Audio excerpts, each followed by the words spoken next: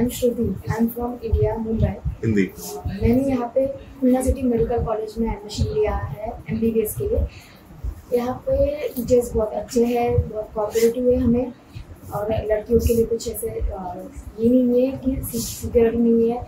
फिर यहाँ की लैंग्वेज लैंग्वेज भी हमें समझ में आती है पर इतनी नहीं कि जितना हम समझ पाए।